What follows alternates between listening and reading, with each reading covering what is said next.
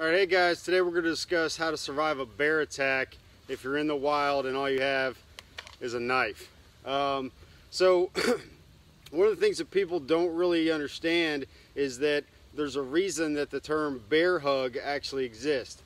Bear, uh, bears, bear, bear, bears. Anyway, these animals are actually really susceptible uh, to hugging. It calms them down and it makes them you know feel really comfortable. So we want a good reverse grip on the knife and then as the bear comes and attacks we're just going to reciprocate that hug right lure him into a false sense of security and then done.